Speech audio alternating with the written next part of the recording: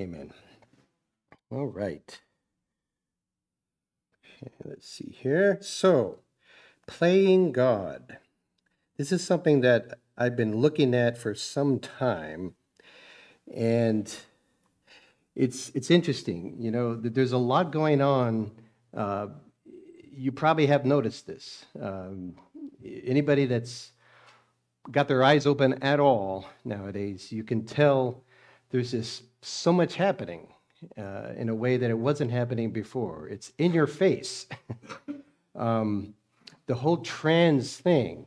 Now, we're to love people. We're to love people as Jesus loves people. Amen? And we, we shouldn't care what their orientation is, what their background, what their uh, race is. None of that matters. Every person is in need of the grace of, of the Lord. And we should view them that way and reach out to them and help them. But this trans thing is really getting out of whack. It's, uh, it's becoming violent in some cases. Uh, you probably have uh, heard about Disney in Florida. Uh, you know, this whole Disney is not the same Disney it used to be. it's, it used to be just magic and flying elephants and you know things like that. It, it, it, it was there, there was magic, no doubt, but in fantasy, which isn't all the best.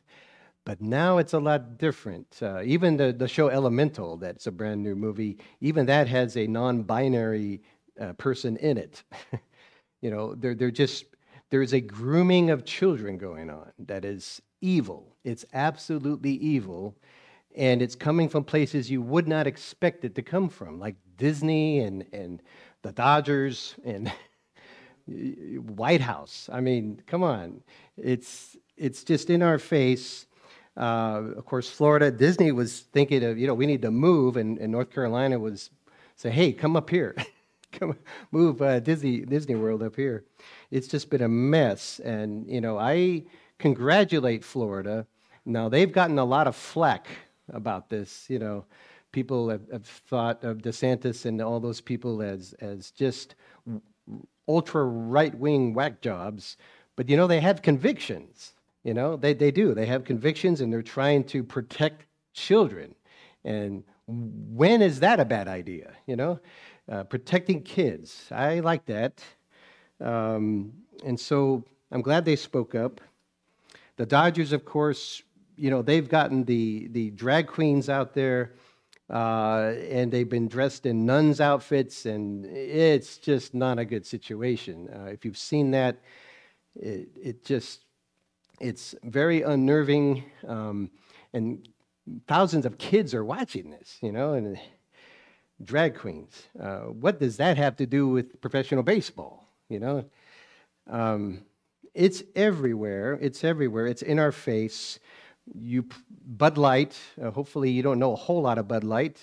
Uh, back in the day, Bud Light and me were buddies, but not these days. No, no, no, no, no.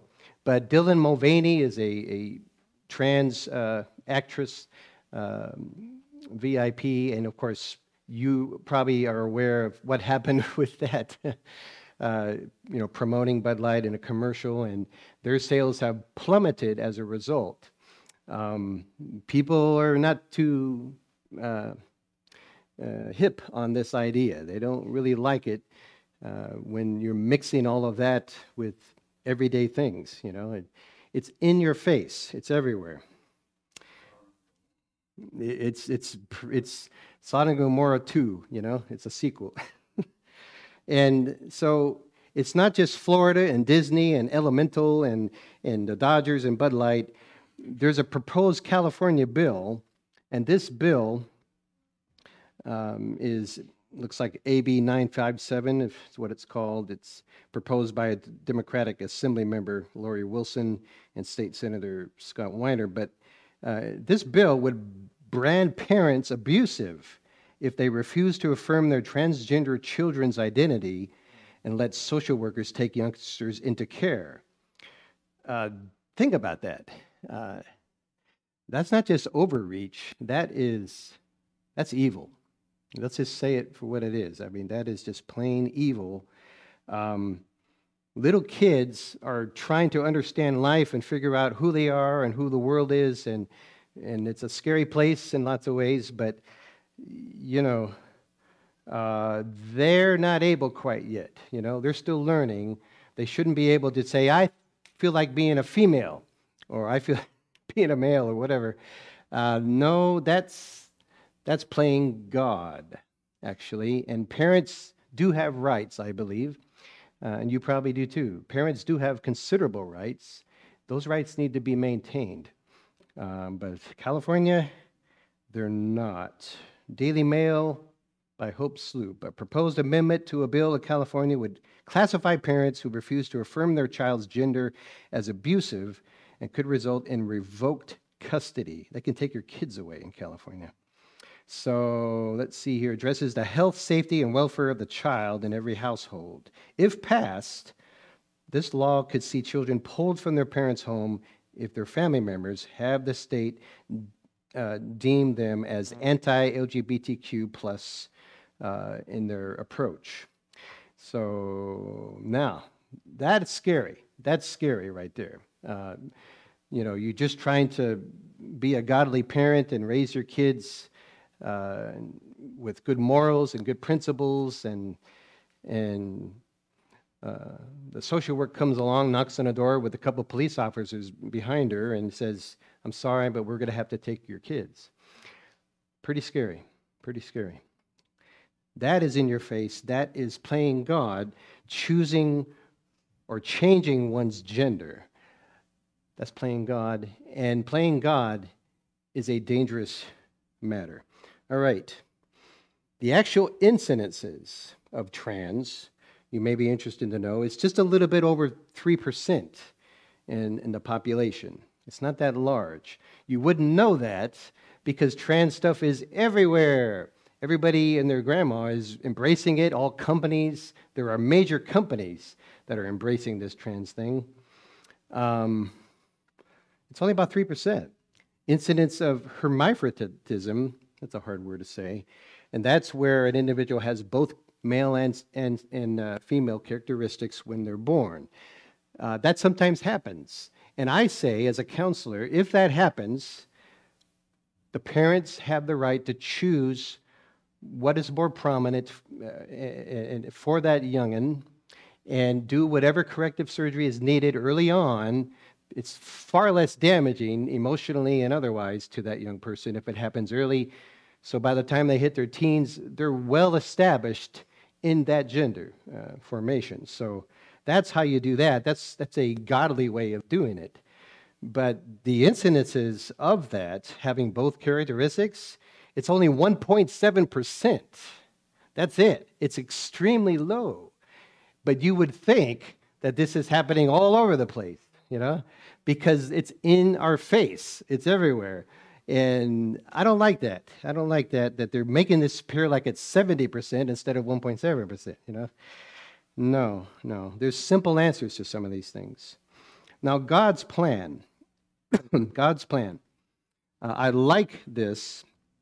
And, you know, I was thinking about this, putting this message together, and I know what I believe, I know what I believe about these things. Um, I know what the Bible says about these things. Uh, and I wonder, does the Adventist Church have an official statement on these matters? And sure enough, they do. All right, this is from Adventist.org. I like this a lot. I really like this is balanced. This is Christ-like. Okay, this is nice. All right, biblical principles relating to sexuality and transgender phenomenon. Number one, and I'll just summarize these God created humanity. Well, there you go. You say that, and immediately you're outcast and you're blacklisted.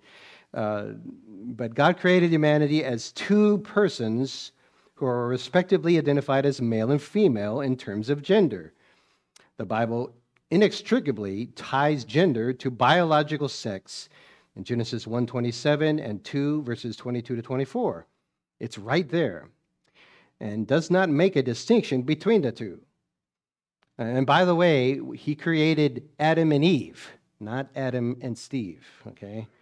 All right, so Uh, the Word of God affirms complementarity as well as clear distinctions between male and female in creation. The Genesis creation account is foundational to all questions of human sexuality. So that's your starting point, but most of these people who are promoting trans and everything and, and do your own thing, uh, be your own God, uh, playing God, um, they would throw that idea out immediately. They don't even start there. They say, no, no, no. There are a plethora of gender expressions and identities, dozens. All right, but in the Bible, there's two. There's two. And if there were two males back then or two females back then that he created, we wouldn't be here. Nobody would have ever been anywhere. There would have been no propagation of the human race at all. So if they would just stop and think about that. Number two, from a biblical perspective, the human being is a psychosomatic unity. For example, scripture repeatedly calls the entire human being a soul. You've heard that expression that, oh, 50 souls were lost. You know, this horrible thing that just happened. You know, five individuals, of course, lost their lives on this little mini sub that was exploring the Titanic wreck. You probably heard about that. Very tragic. It apparently imploded and that's a high risk activity. That's not the kind of thing I would go for, just like I wouldn't jump out of a perfectly good airplane. You know, I, uh, I might, I just might, I just might, but um, I probably definitely wouldn't scale Yosemite. You know, I'm not into that kind of thing. Anything high risk like that, where just like that you can lose, lose your life, I'm not usually into that kind of thing. I care more about life than that. Uh, but we're a unity uh, it, we're a soul. It's all over the Bible. I mean, there's dozens of scriptures that talk about this unity of who we are. Um, the Bible does not endorse dualism in the sense of a separation between one's body and one's sense of sexuality. They're one and the same in the Bible. Okay? And in addition, an immortal part of humans is not envisioned in Scripture because God alone possesses immortality. 1 Timothy 6 tells us that and will bestow it on those who believe in him at the first resurrection. 1 Corinthians, Corinthians 15 tells us that very plainly. Thus, a human being is also meant to be an indiv- undivided sexual entity. A sexual identity cannot be independent from one's body.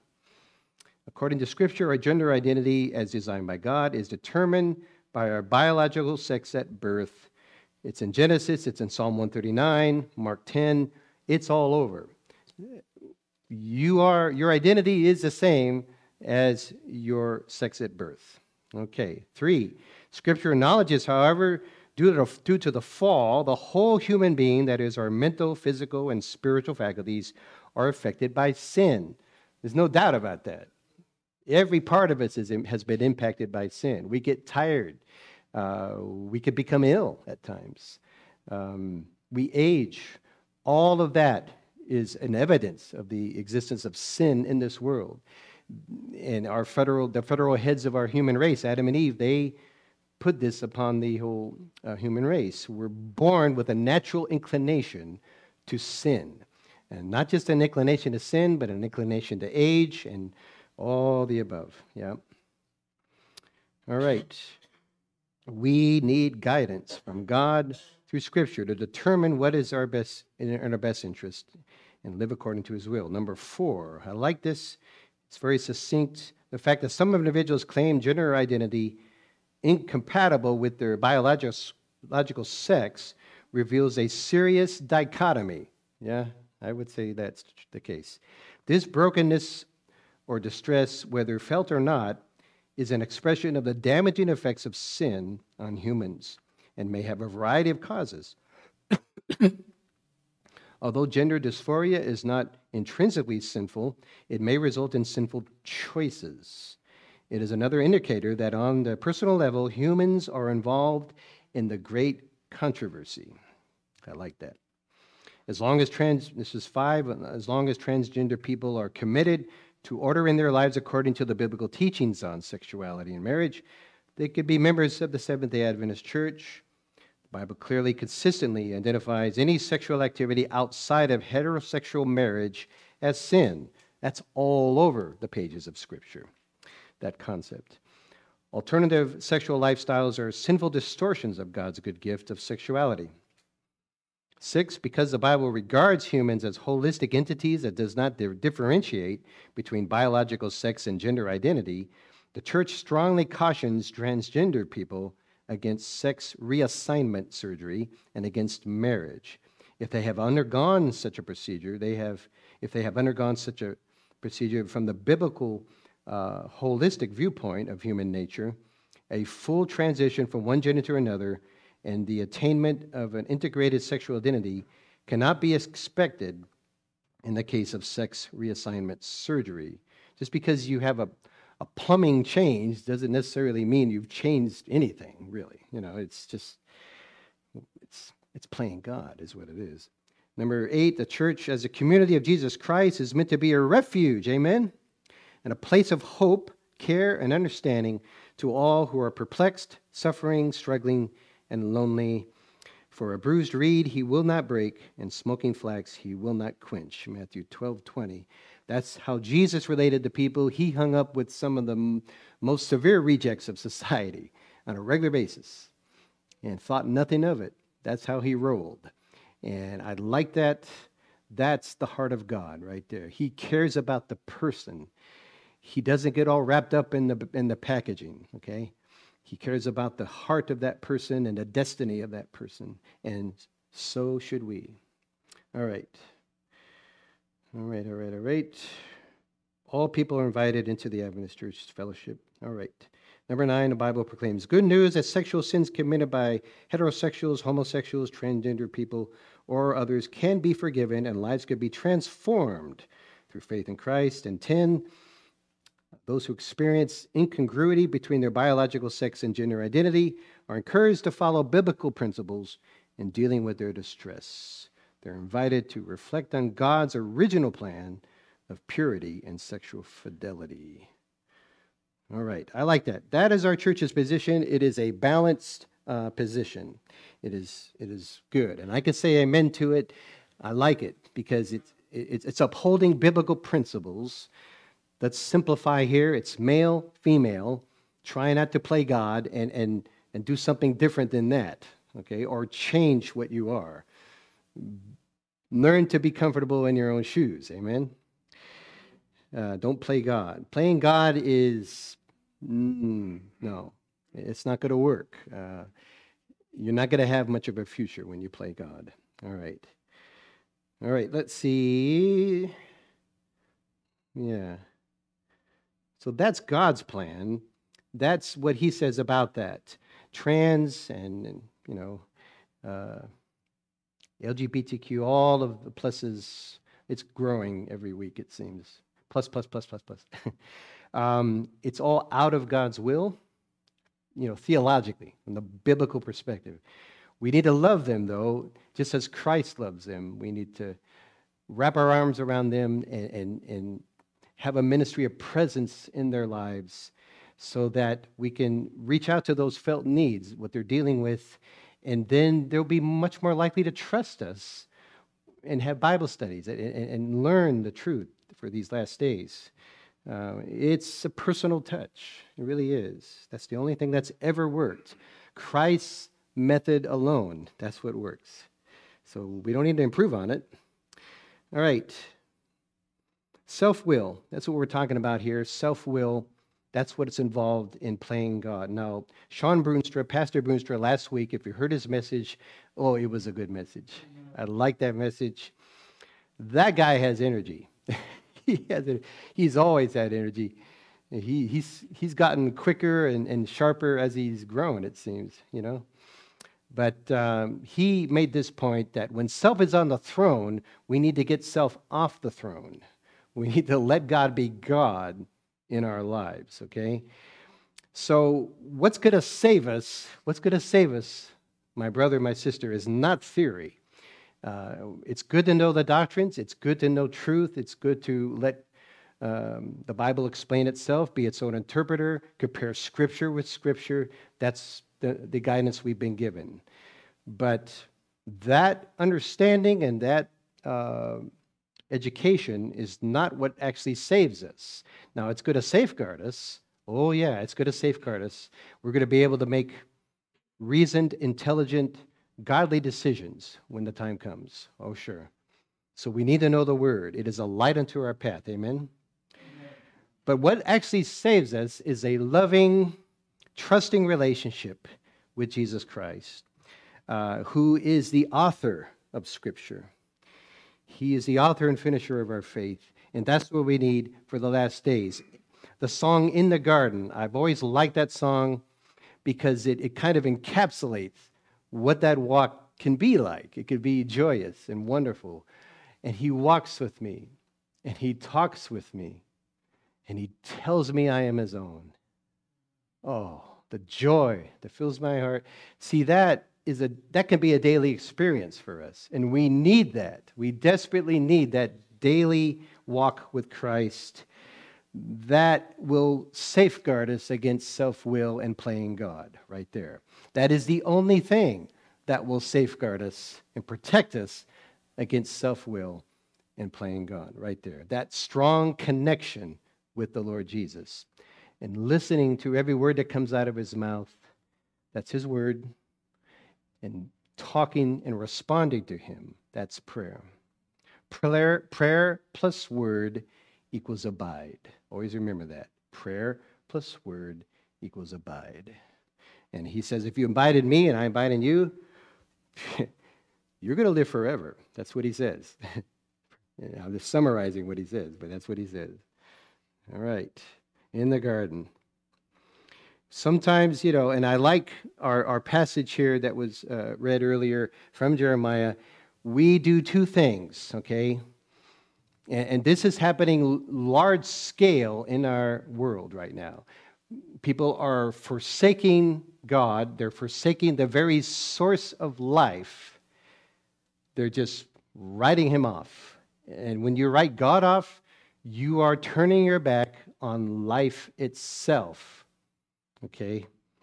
Broken cisterns. And on top of it, we're coming up with new sources of life that we think will see us through, think will help us survive, help us to get by.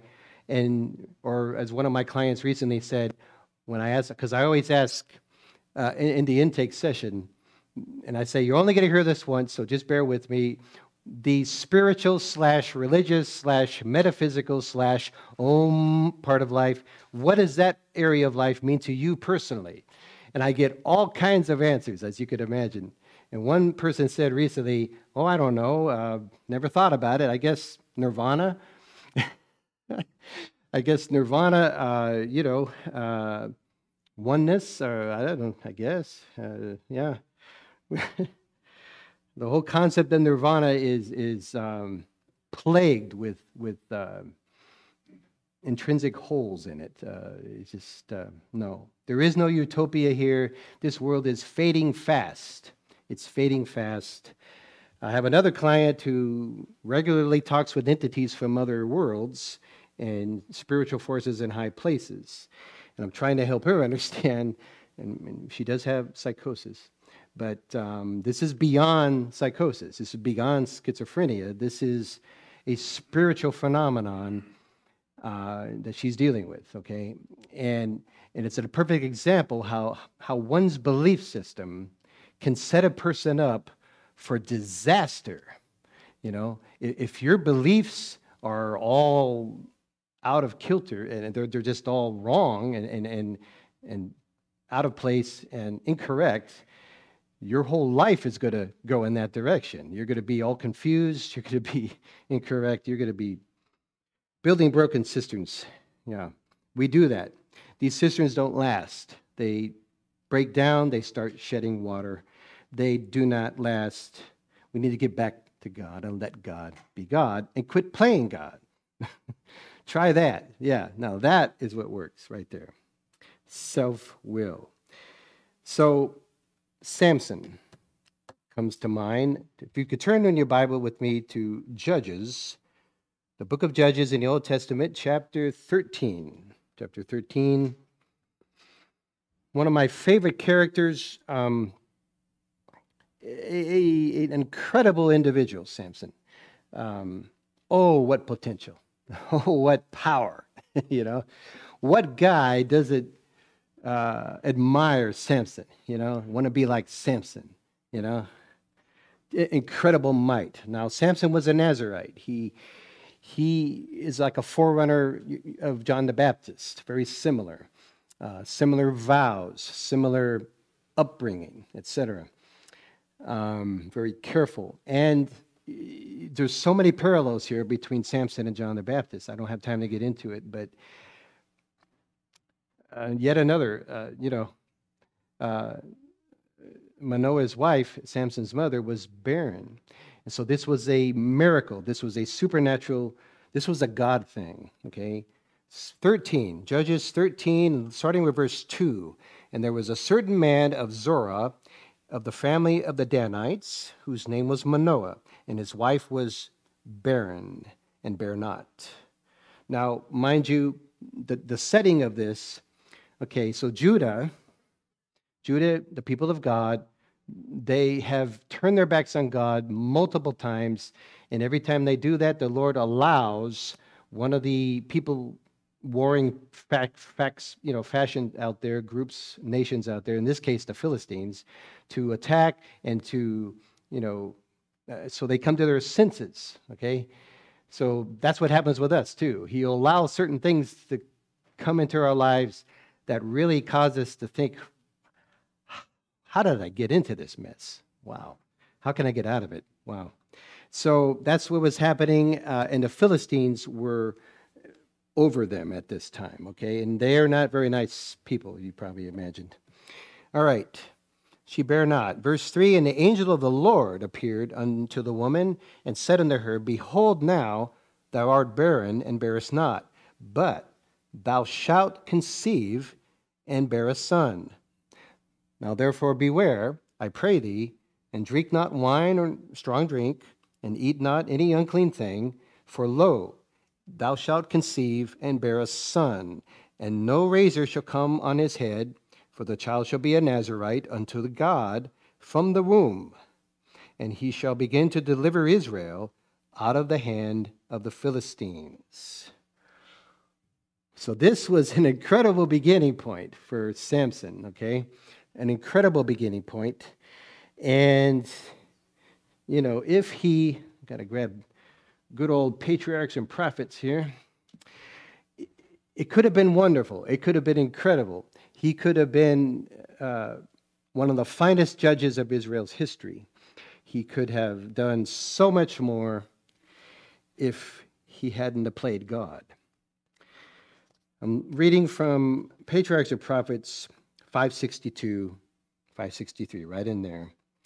Here's what the servant of the Lord says Had Samson obeyed the divine commands as faithfully as his parents had done, he would have been a nobler and his would have been a nobler and happier destiny. But association, and uh, Justin, you were talking about this a little bit ago. I like it. The Lord works in mysterious ways. He blends it all together. Combined message. And, and Tracy, oh, everything just flows together. That's the Lord's orchestration right there. All right. So um, association with idolaters corrupted him. Be careful here who you hang with. Be careful. Yeah. The power, the town of Zorah being near the country of the Philistines, Samson came to mingle with them on friendly terms. Mm, there's nothing so bad about that, right? We're supposed to mingle and, uh, you know, Christ's method alone, right? but he didn't just do that. Uh, he really mingled. Uh, all right, so yeah. Thus, in his youth, intimacies sprang up, the influence of which darkened his whole life. A young woman dwelling in the Philistine town of Timnath engaged Samson's affections, and he determined to make her his wife. To his God fearing parents, who endeavored to dissuade him from this his purpose, his only answer was, She pleaseth me well. Hmm. Yeah. Ugh. Ugh, bring me woman now. You know, it's whatever. You know, it's macho. You know, the parents at last you tell you could tell this was a process. it went back and forth quite a while. At last, they yielded to his wishes, and the marriage took place. And then she makes this these points very interesting. Just as he was entering upon manhood, the time when he must execute his divine mission, because God had a plan for young Samson. Uh, he was going to be a mover and shaker. He was going to be strong. His hair was growing. Uh, he, uh, he was going to be a, a force to be reckoned with. He was going to start turning the tide against the Philistines. And so, just as he was entering manhood, the time when he must execute his divine mission, the time above all others when he should have been true to God, and oh, how it would have been different for him if he had been true to God. Samson connected himself with the enemies of Israel. He did not ask whether he could be better he could better glorify God when united with the object of his choice, or whether he was placing himself in a position where he could not fulfill the purpose to be accomplished in his life. Hmm. He didn't ask that question. He didn't say, You know, Lord, I'm thinking about this. What say you? What do you think? No, that wasn't, that's not what he did. No. To all who seek first to honor him, God has promised wisdom, but there is no promise to those who are bent upon self pleasing. Wow. Wow, wow, wow. So, yeah. So he's mingling and he's marrying, and, you know, a lot goes on. I'm not going to read you know, all these uh, chapters, you know kind of probably what happens with Samson. Amazing things happen in spite of his playing God. Uh, the jawbone of an ass, he kills like, what, 300? uh, he carries a big old, huh? Thousands. Thousands, yeah, jawbone of an ass. The foxes, oh, it's just 300 foxes. Yeah, he tied 300 of them together, lantern a fire, you know, a torch in their tail, and they just destroyed the, the entire crops of the Philistines. He just did mischief against the Philistines. Um, wow. He, he was, he was uh, oh, it, it goes on and on. He did so many things to the Philistines. Oh, wow. And his first wife died because, you know, of his, you know, silliness, really foolishness, you know. So, so remember now, he's a Nazarite. Nazarites are not supposed to drink alcohol. They're supposed to let their hair grow. They're supposed to uh, be strong and they're, they're, to avoid immorality and that type of thing. They're supposed to do things the right way, God's way. Uh, and they're not supposed to let the world become a part of them, but they're supposed to reach out and try to change their world. Samson's blew it on all those accounts. He married a non, uh, you know, uh, child of God, non-Israelite. Uh, he drank. He he just he just did a lot to to nullify his Nazarite vows. Didn't help himself. She died. She was killed by the Philistines. They were mad at her, so he lost that. And then later, you know, like uh, Tina Turner sang many years ago, Samson and Delilah Yep, he got together with Delilah. Uh, that was a big mistake. That was a huge mistake. He's just making it even worse. He's he's piling wrong on top of wrong, mistake on top of mistake, further and further removed from God's will, and it's getting worse and worse. And he's just playing with her. Just you know, she she's not a friendly Delilah. She's not a friendly. No, no, no. She's trying to find out the secret of his power, you know, because the Philistines are trying to use her. She's not very nice, you know. And he plays with her. She's trying to butter him up, and, and there's alcohol, and there's all kinds of things happening. And it's not a good uh, situation. You know what happens. You know what happens he tells him the truth. Okay, all right. You, if you cut my hair, my power will leave me. And that's exactly what happens. And they come in, they cut off a bunch of locks of hair, And uh, he thinks, oh, I can just get away like I always get away, because he was a powerful dude, Samson. Uh, he was he was like uh, Bruce Willis and and The Rock and Terminator all thrown together. he was a quite a quite a dude. But not this time. Not this time. No. And the Bible says they captured him. They took him away. Judges 16, 21. but the Philistines took him and put out his eyes and brought him down to Gaza and bound him with fetters of brass. Now, back in the day, that wouldn't have been, that would be easy. Yeah, fetters of brass, hey, put several. Boom, I'm out of here. Not this time. No, he had forsaken God, and the symbol of Samson's consecration and vows to God, his hair, he gave it away. He just gave it away. Like uh, Esau gave away his, was it Esau? Yeah, gave away his birthright. Birthright? Yep, just gave it away. Took him down, the fetters of brass, and he did grind in the prison house. So here's Samson, the mighty Samson. And by the way, he judged Israel for 20 years. you know, he had a career going, okay? This, was, this took time. All of these things took time. Uh, but it goes by just like that, doesn't it? 20 years. So here he is. He can't see. He's weak. Uh, he, he's, you know, he's just a mess. He's sad. He's depressed, you know, and he's walking around. I don't know if there's room here.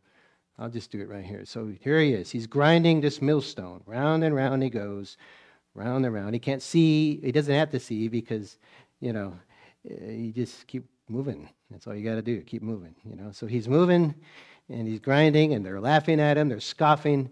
They're scoffing. They're saying, oh, what a joke. Look at this guy. What a weakling. What a joke, you know. And his God is a joke, too. They're saying all kinds of mean things about Samson. And, you know, it's very, very ugly. And he, it, you know, he's just miserable. He's just miserable. And he's saying, I did it my way. I did it my way. Yeah. I did it my way. Oh, boy I did it my way. And you know, after a while, like the old song, I did it my way. He uh, he said, Lord, yeah, I've blown it. I've blown it big time, Lord. He had real repentance going on, thankfully. And I believe we'll see Samson in heaven. Yeah, I want to shake his hand. Yeah. Hopefully he won't squeeze too hard. Yeah. So he said, Lord, let me avenge these people. Let me honor your name. Let me one more time uh, do your will. Let me, I pray thee, destroy these evildoers who are blaspheming your name. And the Lord allows him to do that. And they're having a huge feast to the god Dagon. Uh, Dagon's going to be gone pretty soon. And he says, it's just let me, tells the servant, let me just, you know, stand up here to support myself here because they're all laughing at him.